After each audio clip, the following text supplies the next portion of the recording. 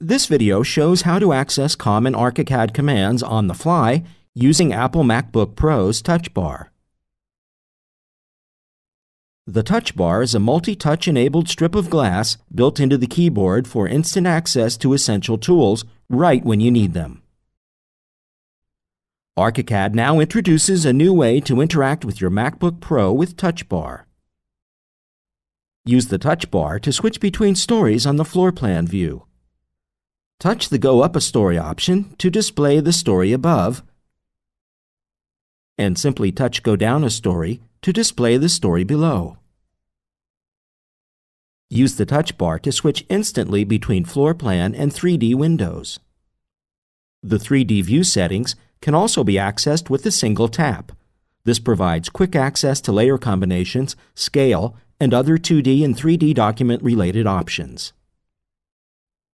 You can also access the parallel projection or the perspective settings with a tap to fine-tune the camera position or adjust the sun position and angles at any time. The touch bar provides context-aware options to speed up your work. Notice how the options are changing as we select this curtain wall in the building. We can display the selected element only by tapping the Show Selection in 3D to focus on this curtain wall.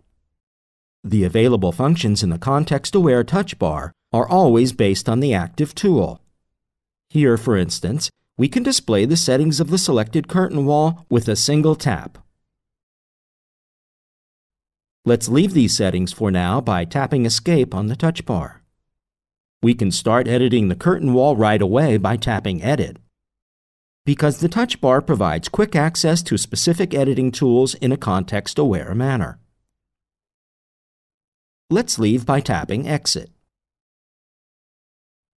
The Element Selection Settings dialog may also be opened right away from the touch bar.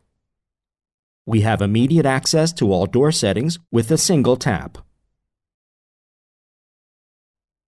Let's deselect all elements by tapping Escape and display the entire 3D model using the touch bar.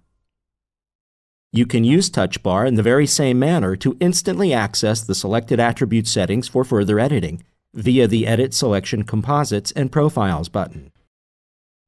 For those diving deep into GDL script editing, the touch bar offers various handy scripting options, such as Check GDL Script.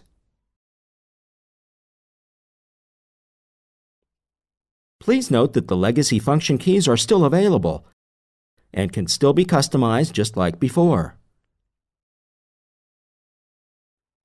By using the new MacBook Pro Touch Bar, architects can easily access the most relevant ARCHICAD controls and commands with ease.